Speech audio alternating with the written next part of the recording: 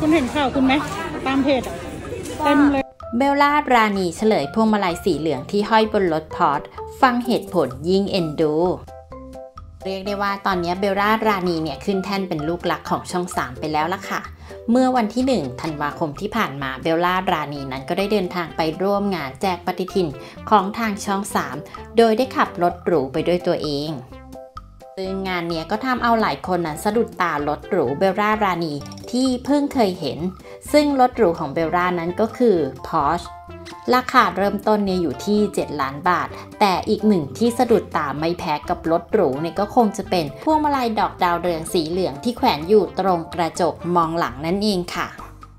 และล่าสุดเรื่องนี้ก็ถึงหูเบลล่ารานีแล้วล่ะค่ะ เมื่อได้มีแฟนคลับนั้นเข้าไปถามเบลล่าว่า เห็นข่าวไหมมีเพจเอาไปแซวเรื่องพวงมาลัยดาวเรืองหน้ารถพอชเบลล่านั้นก็บอกว่า ขับมาเอง โดยเบลล่านั้นเฉลยว่าพวงมาลัยสีเหลืองบนรถพอชฟังเหตุผลเนี่ยทำให้ถึงกับเอ็นดูเลยล่ะค่ะ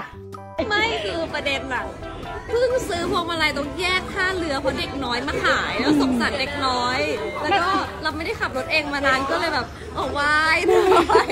คุณไม่รอเราขับเองสักทีก็ขอไหว้แม่ย่านางเอาเลิกเอาชัยซะหน่อยใช่ไหมล่ะคะและเพื่อที่จะไม่พลาดคลิปใหม่ๆอย่าลืมกดติดตามค่ะ